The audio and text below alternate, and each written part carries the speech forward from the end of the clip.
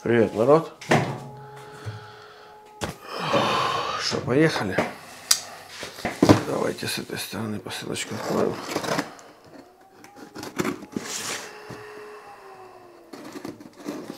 Сегодня под музыку, видите, будем работать. Ого, у нас тут что-то, много у нас тут. Да? Да, да.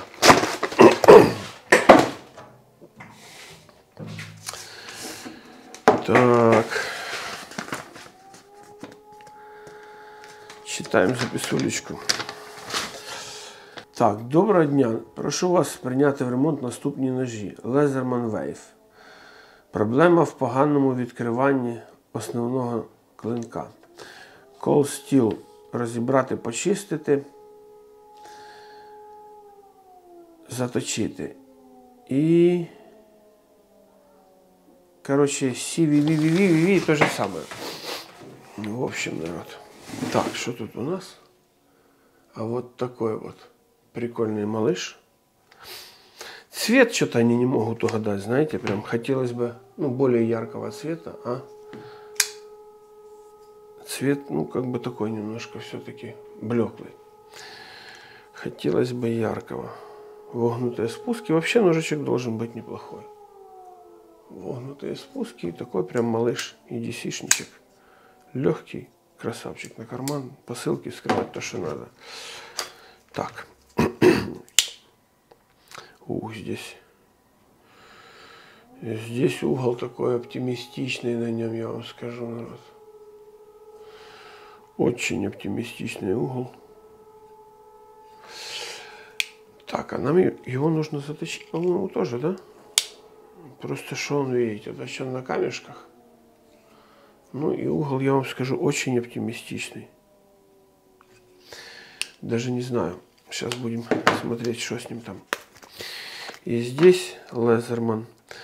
Вейв. Проблема в открывании основного клинка. Есть такое действительно. Короче, поехали. Давайте я одеваю чечи. Давайте разберемся с основным клинком. Прям Прям жестко он открывается. Почему же, почему же, почему же? Дождик бегает по лужам, да? Давайте сейчас поглядим, что тут у нас не так. Так, крутится с другой стороны. Давайте мы достанем напильник. С этой стороны напильник. И напильником придержим все равно крутится, да? Да. Ну и что же, что же, что же? Что же будем делать мы? Мы тогда возьмем, наверное, вот так вот раз. Вот так вот раз. Вот так вот два, наверное, да? Давайте вот трещоточку возьмем. Вот так вот. Оп, оп. И и вот так вот разберем. Раз, иди сюда, а ты иди сюда. Стоять. Раз.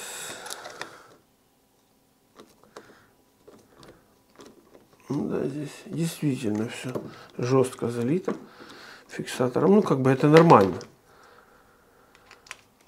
Это нормально, народ, что здесь все так залито.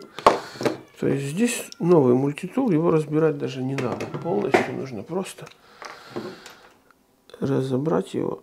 Ну, поняли, да? Чуть-чуть отпустить, капнуть сюда смазки. Открыть клиночек, капнуть сюда смазки. И все, и можно сразу же напильничек тоже прокапать. Все здесь как бы нет проблем, он новый абсолютно. То есть здесь все хорошо. И разбирать его нет просто никакого смысла.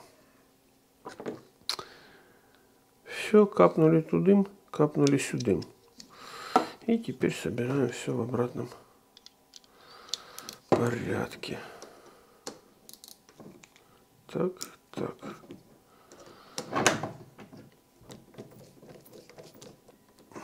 Так. Поджимаем и проверяем. Люфта нет. Открывается мягенько. Все замечательно. Так. Проблема с основным клинком мы решили. Это на место, это на место. Это пока что сюда. Так, Лезерман нам, по-моему, там точить не нужно. Он абсолютно новый народ. Ну, чтобы вы понимали, вот, вот абсолютно заводик. Прям, прям нульцевый. Ту. Его нужно было чуть-чуть просто подсмазать. Можно было даже не разбирать, но на это ушло бы намного больше времени, понимаете, пока смазочка бы туда протекла, просочилась. А так мы разобрали, смазка конкретно попала куда нам надо, и все, вопрос исчерпан. Так, дальше проблему мы решили. Дальше смотрим, как открывается. Все замечательно, все чудесно. Точить нам его не просили, да, по-моему, все-таки. Ну, вернемся к записке. Проблема с осевым, да. Ну, с основным осевым. Есть, решили. Давайте, на всякий случай мы вот возьмем бумажечку. Ну, чуть-чуть, чуть-чуть жестковасто. Мы сейчас на мусатике легонечко, легонечко, раз. И два. Чуть-чуть так Махрит. Слово же такое подобрал, да? Ну, такое бахрому делает. Вот так давайте попробуем. О, о, ну вот давайте попытаюсь показать, что я имею в виду. Вот смотрите, видите, да? Это старый срез, видите, да, какая махра на краю. И вот новый срез, смотрите. Нет никакой ворсы абсолютно. Еще раз возвращаемся к этому. Видим, да, вот вот так вот. Вот и разница. Народ. Поправили чуть-чуть клиночек, и все, и уже мягенько-мягенько выполняет свою работу. В принципе, все. Зачем вот это вот? Почему клипсу не сделать ниже? Непонятно мне. Ну, разве что чехол стандартный, а тулы разные длины. Тогда да. Так, что сразу Сразу этих два товарища поехали. Давайте разберем, посмотрим, что там. Ну, конечно, да, тут режущая кромка. Режущая кромка, народ. Очень, очень прям оптимистично, я вам скажу. Подводы чуть-чуть разные, конечно, еще. То есть здесь подвод шире, а здесь чуть-чуть поуже, видите, да? Вот уже, шире. Прям даже на глазок это видно. Так, поехали.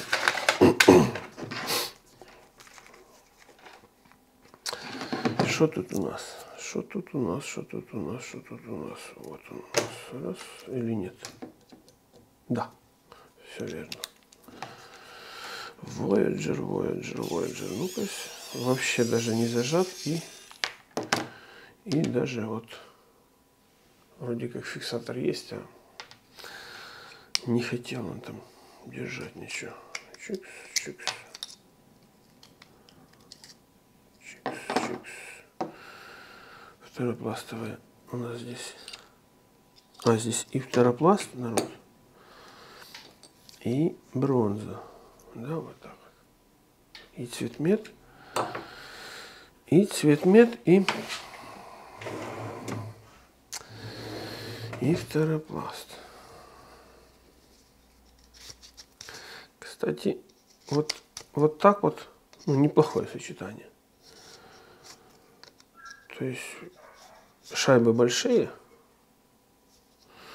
но в тот же момент они очень тонкие. Я имею в виду второпласт, очень тонкий. И поэтому ну, как бы, работать будет нормально. Вот единственное, что вот это, зачем эта лыска нужна на всю длину. А так вообще, в принципе, более-менее нормально. Раз. Раз. Два. Три.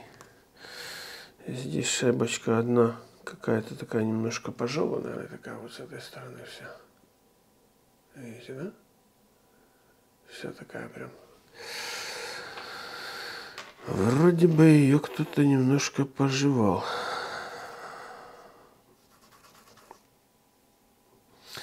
Джованни. Шайбочка по имени Джованни. Фамилию придумайте сами уже. Ну, а шайбочку по имени Джованни нам нужно немножечко... Немножечко нужно нам ее выровнять, потому что вот никуда не годится это.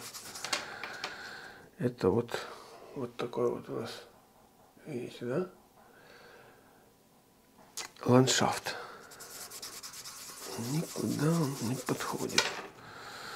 Равняем. И с другой стороны тоже.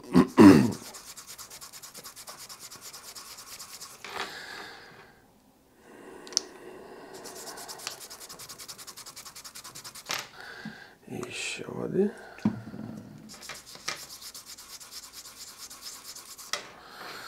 Есть. И теперь с этой стороны еще разочек.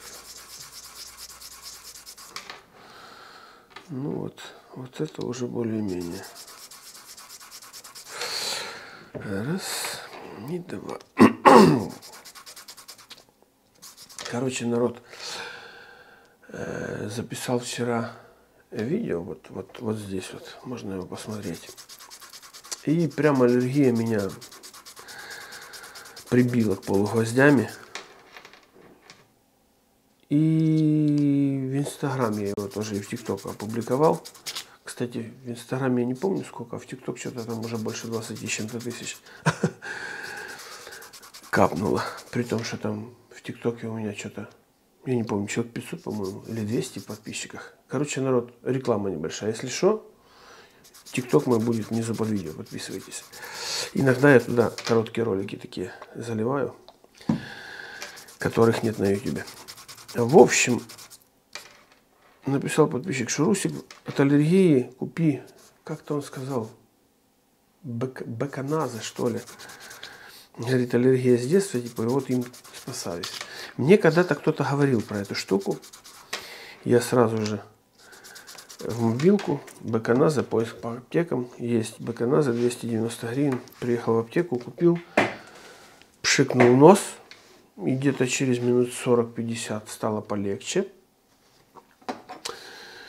Э, потом где-то часа через два я пшикнул еще раз нос и прям ну, более-менее нормально попустило. Сегодня нормально спал, потому что вчера спал это просто ужас. Ну, понимаете, да, вот, вот все вот это вот так вот. То спасибо тебе, лайк тебе под твой коммент. Хороший совет и прям хорошая штучка. Я так понял, его нужно принимать всегда, да, утром и вечером просто брызгаешь по два раза, и все будет нормально. Ну, вот, вот так вот хотя бы будет. Потому что вчера, ну, как бы, это было нечто. Так, народ, поехали. Через э, весь осевой вот, вот эта штука. Зачем? Ну, можно же сделать вот, вот подлыску не с этой стороны, а с этой стороны. И тогда можно было бы, понимаете, да, осевой искусственно не ослаблять. Тем более, что нож типа, ну, претендует на хардюз такой себе. Так, так, так, так, так. Иди сюда, иди сюда. Тут выбираем вот эту сторону, правильной стороной. Давайте мы сразу их слепим. Сразу слепим их. Вот так сюда смазочки капнем и сюда смазочки капнем. Раз, два, есть, иди сюда. Теперь они должны прилипнуть за счет молекулярного притяжения или натяжения. Наверное, все-таки притяжение, да? Хотя это ну, поверхностное натяжение, молекулярное притяжение, называйте как хотите. Так, так, так, так, так, так, так, так. Поехали. Раз. Теперь эту штучку сюда. Два аккуратненько ее чук-чук-чук-чук-чук-чук, иди сюда.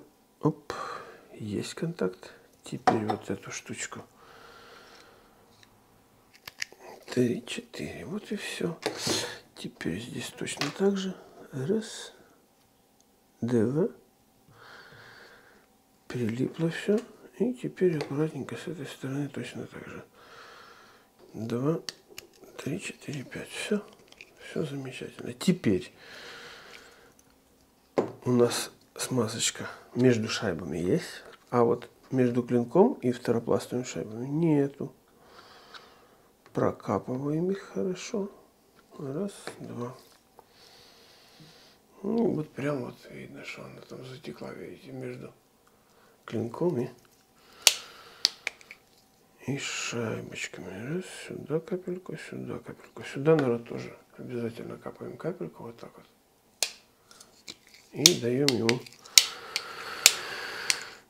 или ей, или ему, ему это, в принципе, блюлюбу разойтись там. Так, все. Блюлюб можем. А ей это смазки. Можем закрывать блюлюбчик наш. Так. Теперь.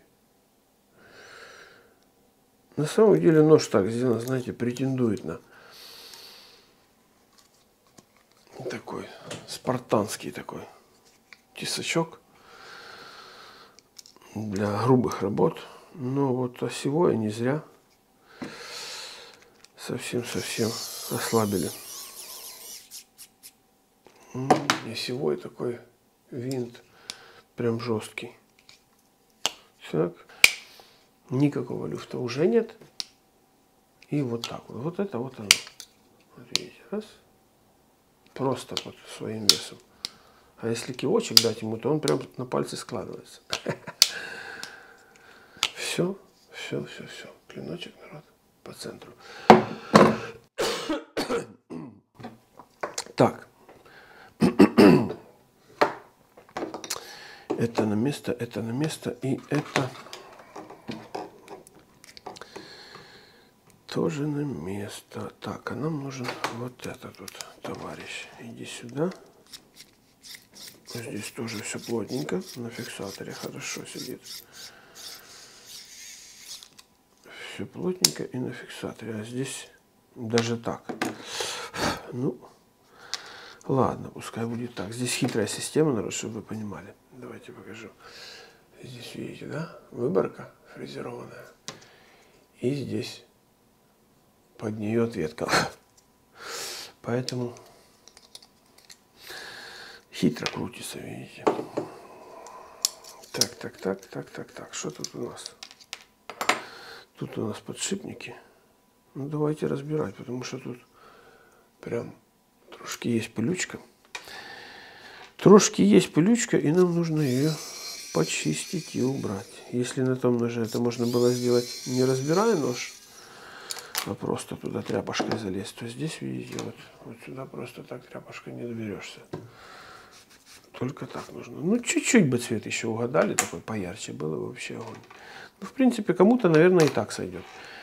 Но мне не хватает. Мне не хватает. Я люблю яркие цвета. Вот, например. Вот это огонь. Берешь руки и прям аж, аж горит нож в руках. Была такая когда-то у меня парамилька. И такая же была крыса. Накладки я заказывал. Крыса была обычная, накладки я заказывал. G10 материал и делал сам. Вот прям цвет тоже огонь был. так, так. Нож в принципе новый. Подшипники у нас. Ну-ка, керамика, да. Думаю, керамика, не керамика, проверю. Керамические подшипники. Все, все должно летать сейчас. И все будет летать, но но нужно все это собрать на смазочку, чтобы это все летало. Чинкс. Капунькаем смазочки. Теперь клиночек на место. Сюда капунькаем смазочки, чтобы она протекла туда внутрь. Есть сверху. Ну и можем капнуть с этой стороны тоже капельку так. Достаточно. И лишнее мы сразу же протрем, потому что потом не доберешься. Чтобы протереть. Вот так раз, раз, раз, раз, раз. Все, народ, вот такой вот ножичек облегчен до безобразия. То есть все, что можно было снести, они снесли. Лишний вес убрали. В принципе, молодцы. Лишний вес убрали. И, в принципе, это правильно. Но видите, э, производителю проще сделать, ну, как бы, стальные лайнеры и максимально их облегчить. Нож, ну, хлеб, хлипкий будет, откровенно такой, знаете, не для хардюза какого-то. Но, тем не менее, как бы, Benchmade вот возьмите, то же самое абсолютно. И, в принципе, можно делать любую работу данным ножом выполнять. Абсолютно. Если с умом это делать, да? Хотя, ну, как бы, покупая такой нож, вы должны понимать, что он внутри весь, видите, да, пустой, поэтому на скручивание какие-то там, я не знаю, там, палеты вскрывать, там, я не знаю, там, разбирать, ну, понимаете, да, это ж не лом. Теперь мы делаем вот так вот, клиночек закрыт, у нас мы подводим с этой стороны вот так вот раз, выставляем и нажимаем. Все, зафиксировалось. И теперь с этой стороны подтягиваем осевой. Все, клин по центру стал. Четенько. И солетаем. Все. Вот так вот раз. Видите, да? То есть без питания. Просто, ну, очень узко здесь неудобно подцепить лайнер, поэтому вот так. Все, все работает, все хорошо. Теперь давайте уточним у хозяина ножа, как мы будем точить Voyager. Ну и, соответственно, этот тоже второй. Потому что не указано. Я за наждачок но очень часто люди хотят вот, вот такого типа формата режущую кромку. Я не, не приверженец таких заточек. Почему? Потому что эта заточка, скажем так, она очень ну, для деликатных каких-то работ. И рез будет не такой, знаете, агрессивный, как он будет у ножа, который я заточу вручную на наждаке. То есть вот эти все камешки, они сбивают микропилу, микросерейтор. И резать ножичек-то будет, но не так долго. То есть он притупится в разы, в разы быстрее. Он в принципе заточен. И я даже не знаю, стоит ли его перетачивать. Давайте мы сейчас посмотрим. Видите, да, с этой стороны намного шире подвод. И он прям, ну видно, прям вот так вот, да, вот ставлю нож, и прям видно, что с одной стороны он завален прям. Прям завален, завален. Видно вам, нет? Вот прям бам, вот. Видите, да, широченный с этой стороны намного уже с этой стороны. Вот. Давайте мы наберем хозяина ножа и уточним, что он предпочтет в данной ситуации. Так, есть телефон? Есть.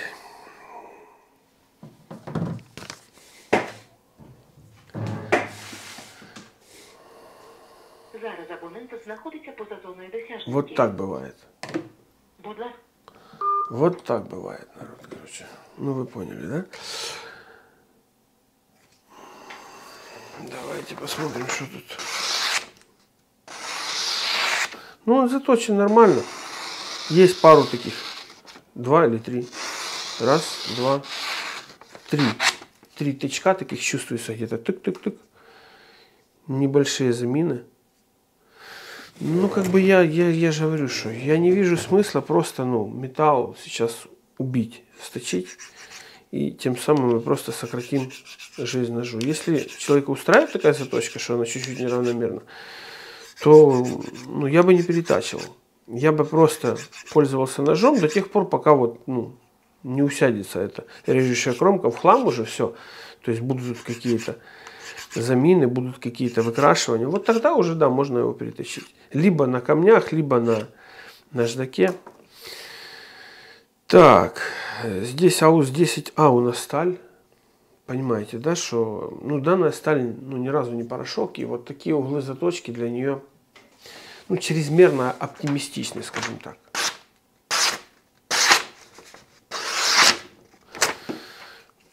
Еще разочек. И теперь на досточке мы его чуть-чуть подправим и будет все.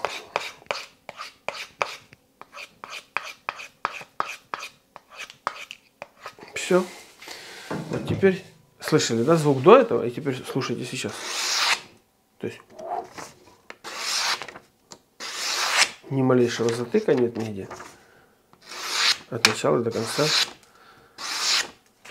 Ну, я не вижу смысла вот, вот, вот это все сейчас перетачивать. То есть, в принципе, ну, если не считать, что чуть-чуть шире с одной стороны подвод, с другой чуть-чуть уже, то ну, в остальном как бы это никак на режущие свойства ножа не влияет, то есть кроме как визуальное восприятие. может быть использовано против вас.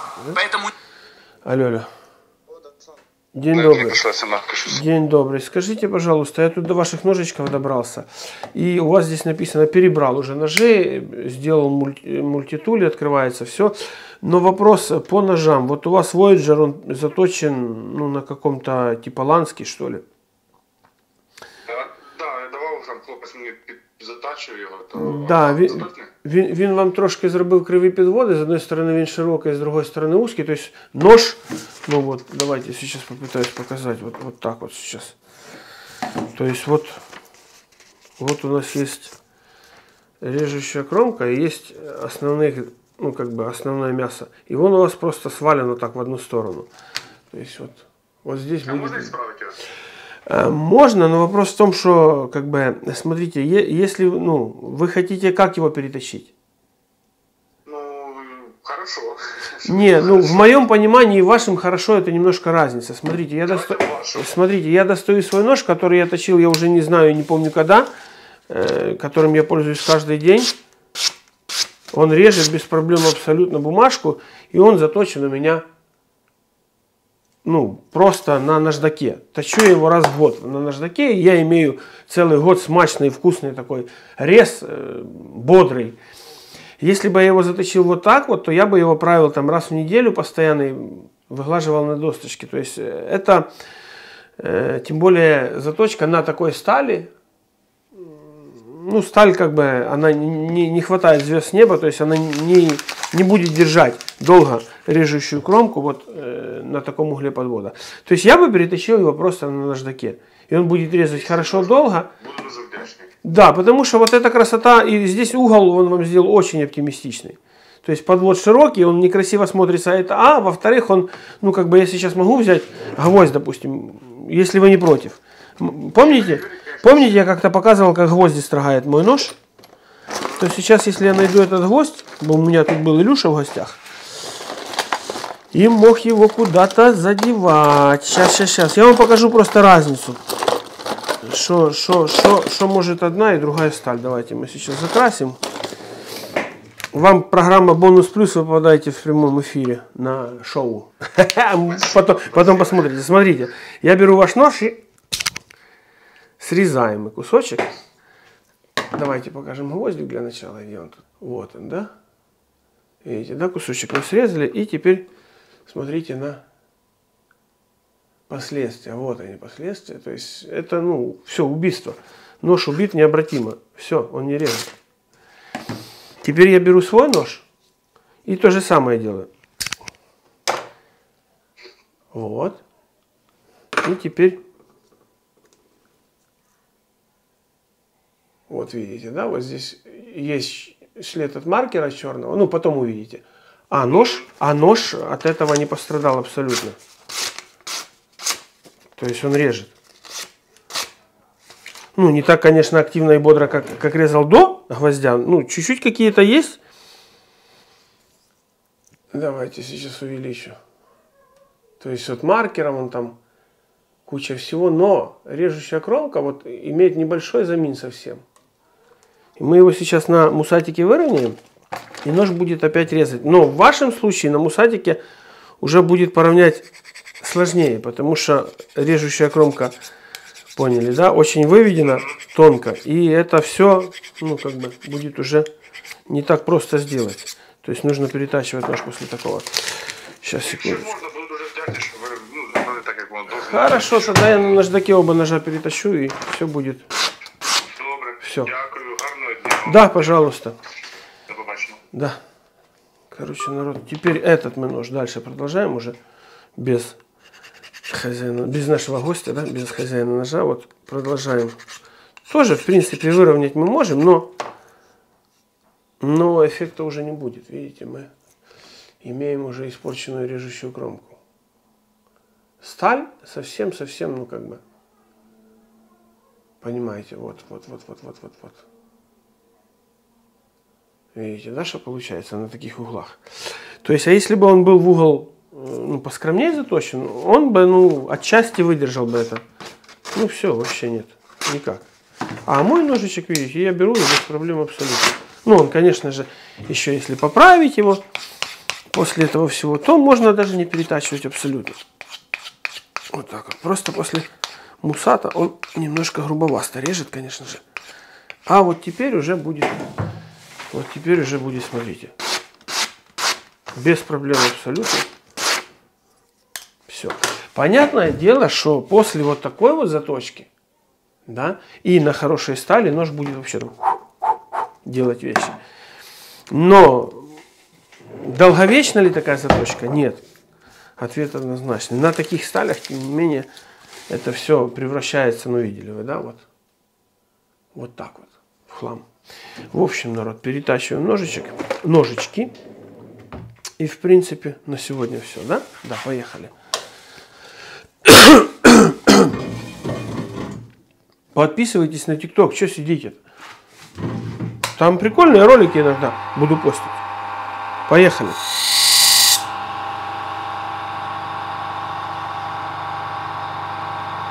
Короче, народ, подвод сделали одинаковым, симметричным. И теперь с этим. То же самое здесь нужно сделать подводик здесь очень тоненький. Вот так вот. Нужно оставить его таким же тоненьким, но еще и острым.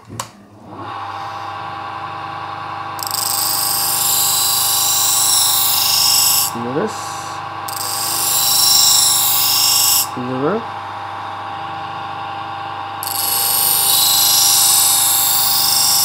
Три.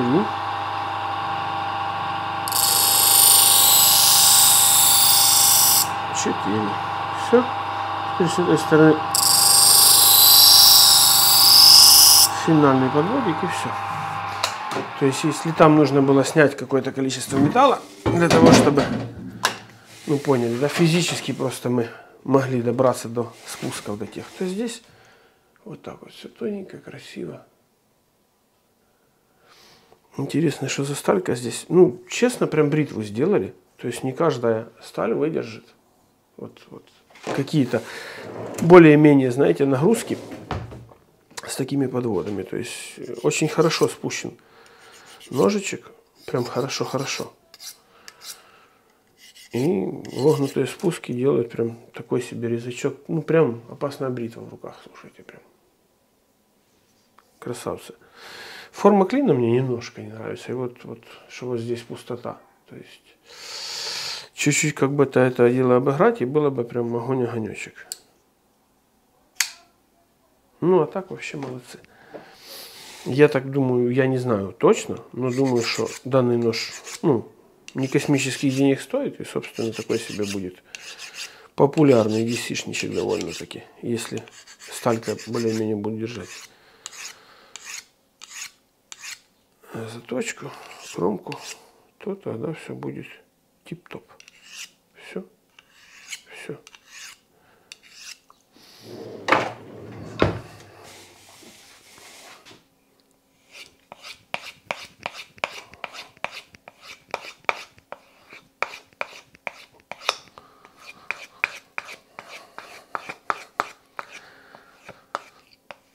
Раз и два.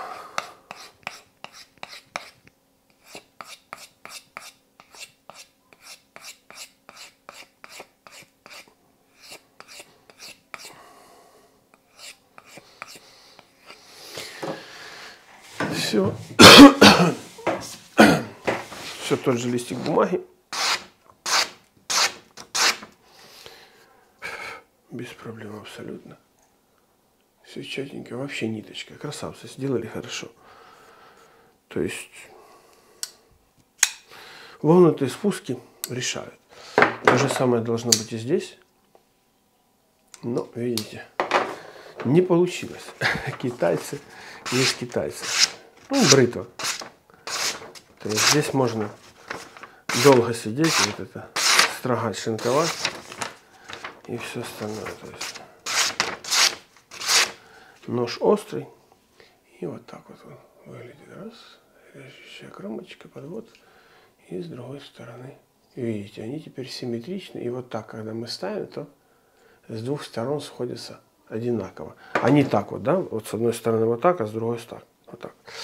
То есть вот, вот этот момент мы теперь устранили. В принципе, народ, на сегодня все.